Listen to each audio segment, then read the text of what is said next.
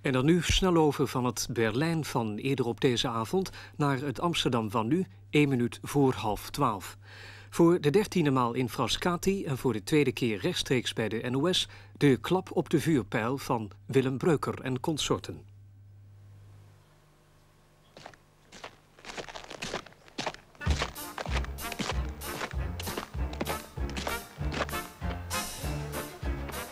Hmm.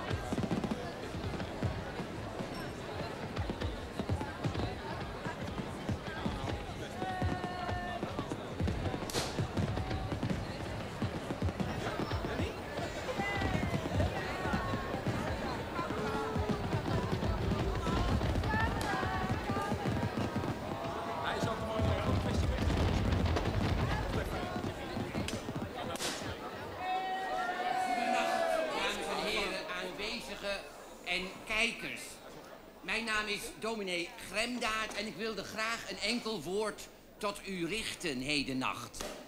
Vijf over twaalf. Kent u die uitdrukking? Dames en heren kijkers, vijf over twaalf. Of, of het is vijf over twaalf en het nieuwe jaar is vijf minuten oud. Vijf minuten oud, zoals sommige mensen zeggen. Mag ik u, mag u om te beginnen namens de gehele Nederlandse omroep een gelukkig nieuw jaar wensen met fijne avonturen. Met fijne avonturen, fijne avonturen en baldadige uitspattingen. Met, met wie of waar dan ook. Vijf over twaalf. Vijf minuten zijn we alweer onderweg. En en in menig hart heeft de liefde en de twijfel zich alweer genesteld. Want die zijn er altijd als eerste bij. Koning Liefde en prinses Twijfel. Vijf over twaalf. Om twaalf uur was het nog kussen geblazen. Lekker, lekker kussen. Mensen die je nog nooit gekust hebt, die mag je dan kussen.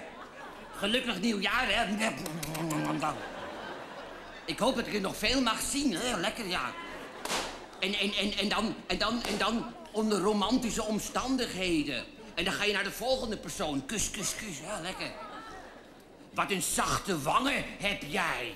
Wat een zachte wangen. Wat lekker is dat. En dan ga je weer naar de volgende om gelukkig nieuwjaar te wensen. En dan, dames en heren, kijkers en aanwezigen, dan is het ineens vijf over twaalf. En, en is het dan afgelopen? Nee, nee. Het kussen wel. Die ronde heb je gehad, want je hebt ieder van boven tot onder afgeledderd, zeg maar. Maar dan komt die twijfel, u kent dat wel. Dan denk je aan degene die je niet hebt kunnen kussen. Waar is die en die? En, en, en zo ja, met wie is die en die? En wat doet die en die eventueel nu? Vijf over twaalf. En, en de een die is enthousiast. Lekker een nieuw en fris jaar. En de ander die is opgelucht. De sombere decembermaand is eindelijk achter de rug. En een derde die voelt zich alleen. Niemand, niemand houdt er van. En een vierde, een vierde persoon die begint al te twijfelen. Wat nu? Hoe nu verder? Iedereen, dames en heren, aanwezigen en kijkers, beleeft de overgang op een andere wijze. Vijf minuten na twaalf. Het oude jaar ligt veilig achter ons op dit moment en we bevinden ons plotsklaps in een geheel nieuw jaar. In 1989 al, zeg, wie had dat ooit kunnen denken? En het prille jaar kijkt ons met zijn blauwe ogen stralend tegemoet. Die kijkt, die als, als wil die zeggen, pak me toch. Wil het nieuwe jaar zeggen en geniet van mij. Ik zal wel eens wat laten zien. Vijf over twaalf. Het nieuwe jaar lijkt oprecht klaar te liggen. Hè? Maar je weet na vijf minuten toch nog niet goed hoe erop te springen. Of hoe er binnen te dringen, zoals sommige mensen zeggen. Je weet het nieuwe jaar nog niet goed te hanteren. Het jaar is vijf minuten oud, maar hoe nu verder?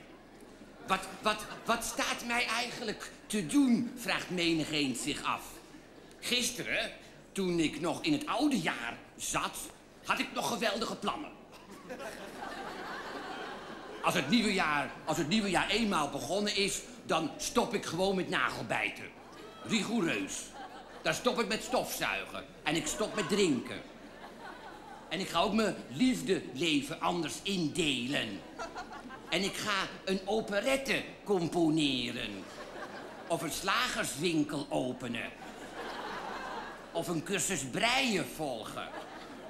Of meerdere kinderen uit mijn eigen lichaam geboren laten worden. In het oude jaar had je plannen te over. En nu is het jaar vijf minuten oud en ineens weet je niet meer van voren dat je van achteren leeft. En je vraagt je af hoe nu verder. Hoe nu verder met mijn prachtige voornemens, dames en heren, kijkers en aanwezigen. Het is een probleem. Ik ben vijf minuten geleden, zegt iemand, gestopt definitief gestopt met roken, maar nou, eh, nou heb ik gewoon alweer trek. En zal ik, zal ik niet nog eventjes doen of we nog in het oude jaar zitten? Even stiekem op de gang in het oude jaar je bevinden. Twijfel. Twijfel. Ik zou, uh, ik zou, zegt een ander in het nieuwe jaar, geen gemene opmerkingen meer maken tegen mijn medemens. Maar ik voel nu toch alweer een beetje de behoefte om die vervelende personage geestelijk te tackelen. De twijfel. Ik wilde qua liefde in het nieuwe jaar van mijn huidige vrouw af en overspringen op een veel luchtigere en veel blondere vrouw. Maar het jaar is nu inmiddels negen minuten oud. En ik vraag me af of ik toch maar niet beter bij mijn oude vertrouwde partner kan blijven. Het is vijf over twaalf, of negen over twaalf, of tien over twaalf, zoals sommige mensen zeggen. En het jaar is nog bijzonder vers, dat valt niet te ontkennen. Het valt niet te ontkennen, maar de twijfel, die grijpt alweer om zich heen. De twijfel grijpt... Moet ik toch niet dat gesprek gaan voeren... waar die persoon in het oude jaar zo naar verlangde? Liefde, twijfel en wanhoop. Overal. En ook op dit moment. Kijk, je hebt natuurlijk ook mensen, je hebt ook mensen waarbij alles vanzelf gaat. Die bestaan ook, we gaan alles vanzelf. Die nu heel ontspannen bij elkaar zitten of liggen, zoals sommige mensen zeggen. En die, en die het nog nooit zo gezellig gehad hebben. De 93-jarige To in Achel, een fantastische vrouw in de bloei van haar eigen leven, samen met haar kinderen, kleinkinderen en ouders. Die is, die is heel gelukkig. De 20-jarige Bert in Maastricht, die zich met een gebroken gezin toch vrolijk in 1989 werpt. De 40-jarige Aafje in Winschoten, die met een volle krat pils, maar verder helemaal alleen, de hele nacht door gaat feesten. De 31-jarige Peter in Arnhem, die vorige week in Kees zijn ware liefde gevonden had. En dat niet onder stoelen of banken wenst te steken. En de 68-jarige Selma in Enschede, die uiteindelijk met haar 97-jarige moeder heel gelukkig geworden is. Dames en heren, dames en heren aanwezigen en kijkers. Het jaar is nu zeg maar 12 minuten oud, of, of laten we zeggen 15 minuten alweer oud. En overal is er weer vreugde, melancholie en ook wanhoop en hoop. Dat moeten we ook niet vergeten, de wanhoop en de hoop. Wat zullen wij, wat zullen wij, u en ik samen, wat zullen wij gaan doen? Zullen we het nieuwe jaar met enthousiasme aanvaarden en ons er spontaan op en erin werpen als dolle stieren? of hunkerende koeien, zoals sommige mensen zeggen. Niet achterom kijken, maar vrolijk en dynamisch dat lekkere 1989 induiken, hè? Compleet met vrijheid en begrip. Compleet met uitspattingen en evenwicht. Compleet met nieuwe wet gelijke behandeling. Compleet... Compleet met persoonlijk geluk en geluk voor iedereen. Compleet met afwijkende standpunten en onverwacht romantische ontmoetingen. Dat is ook belangrijk. Ja, dames en heren, kijkers en aanwezigen, laten we het doen. Ik wens u een compleet jaar. En voor straks een heerlijk etensmaal met stukjes oude oliebol of kerstkrans, zoals sommige mensen zeggen, daarin. En hierbij verklaar ik het nieuwe jaar namens heel Nederland voor geopend.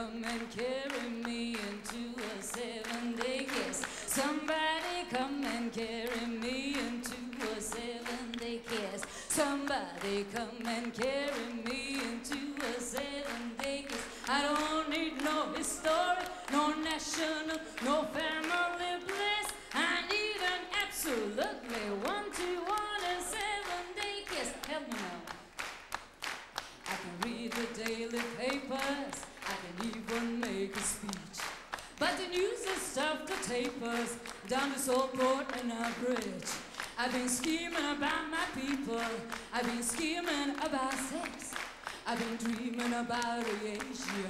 Not marrying with a prostitute. But what I need is quite specific. Terrifying.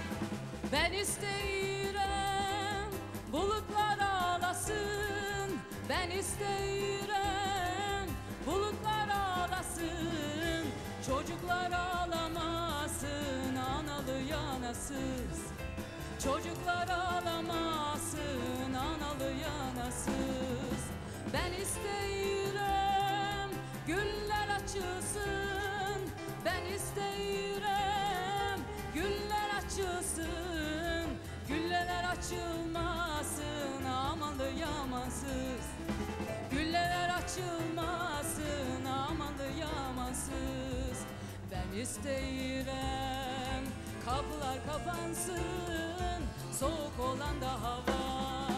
Ben isteyirem Gözler kapanmasın sözler kapanmasın.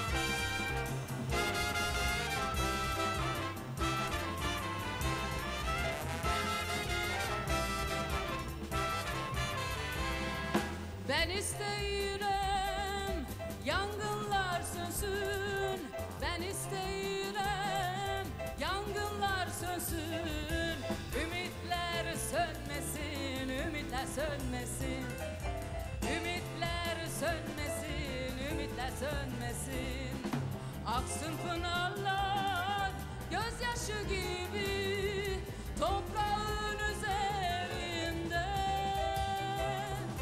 Aksın pınarlar gözyaşı gibi Toprağın üzerinde.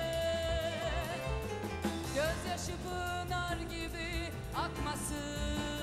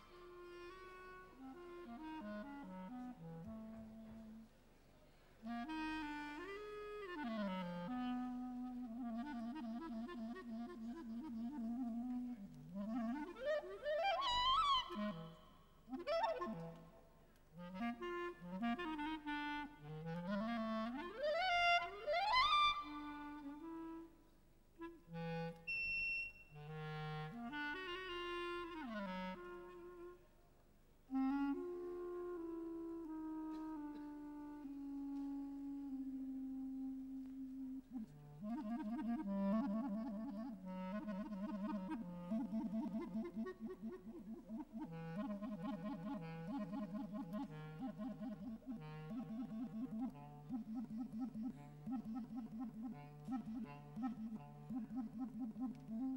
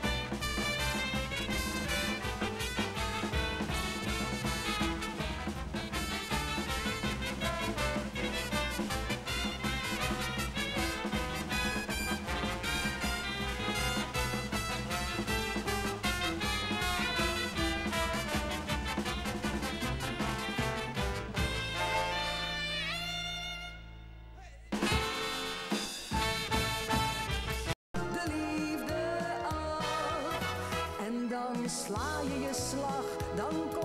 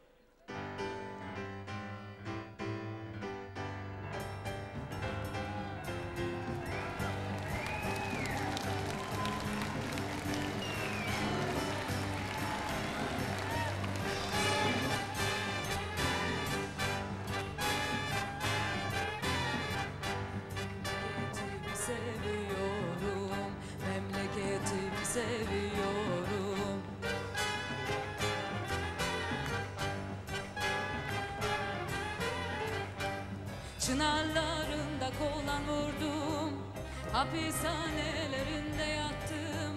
Hiçbir şey dindirmez Hiç sıkıntımı Of memleketimin türküleri Ve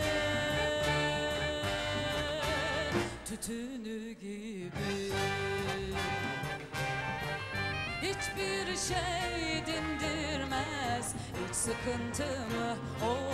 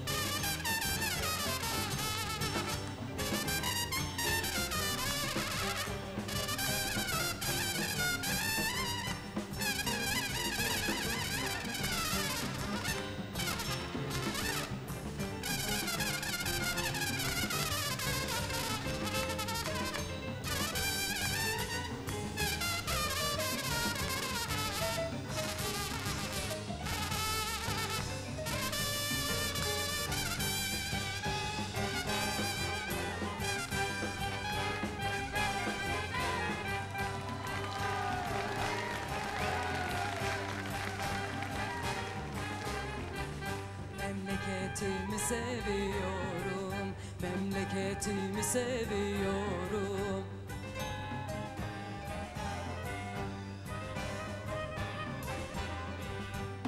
Dolaşmakla bitmez tükenmez gibi geliyor insana.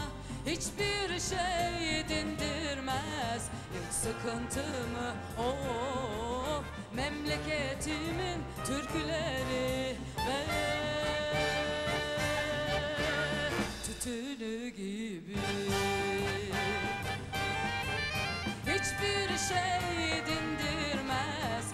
sıkıntımı Of